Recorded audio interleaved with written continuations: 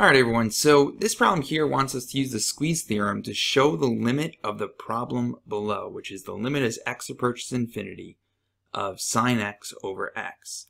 Now first, I want you to kind of just understand what the squeeze theorem is, what it's saying in this case. Think about it like this. Let's say a class was lining up in order from shortest, in this case, to the largest. So the class is going to line up here. And basically, let's say we had these three people here. So one, two, and then three. Clearly I'm an artist.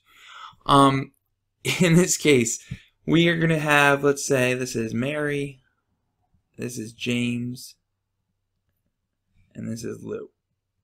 Okay.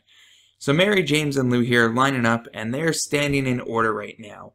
And we find out that Mary, in this case, is 5 feet tall. And we also know that Lou is 5 feet tall.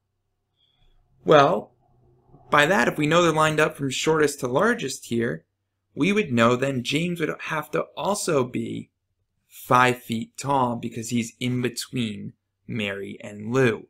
Okay, so that's the idea behind the squeeze theorem here, is if you can show what the lower limit is, and you can show what the upper limit's going to be, then you know what in between would have to be in this case. And that's what we want to do with this problem here. So let's take a look at this example. So let me go ahead and scroll down a little bit. So what we want to do in this case is we want to take the limit as x approaches infinity of sine of x over x. Well, what we're going to do here is focus on one part of the problem first. I know what the sine curve looks like, so I'm going to focus on that. So if you don't remember what the sine curve looks like, it was this curve that looked like this. Okay, this is y equals sine x. And the highest value there is 1, and the lowest value is negative 1. So I know that the sine curve is between negative 1 and positive 1 in this case.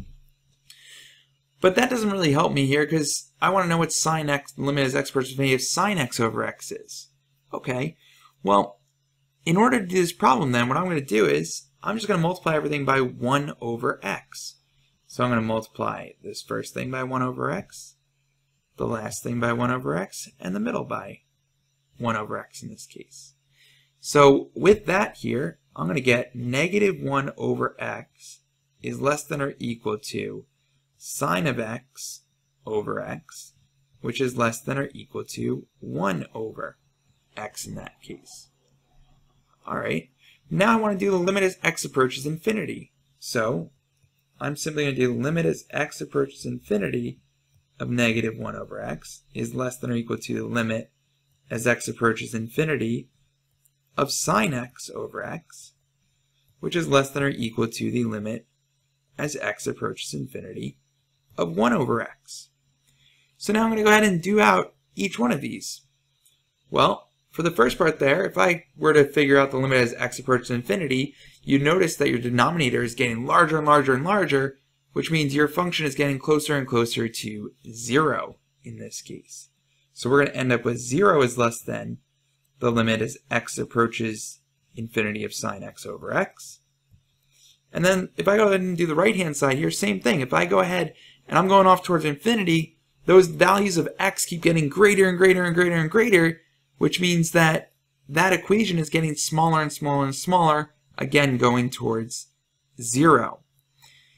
So that means if 0 is less than or equal to the limit as x approaches infinity of sine x over x, and that's less than or equal to 0, well then this whole thing here, the limit as x approaches infinity of sine x over x must also be 0 because that's the only thing that can go between 0 and 0 and make this true.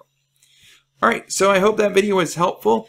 Um, if you have questions, feel free to leave them in the comments below and make sure you subscribe, and we'll see you next time.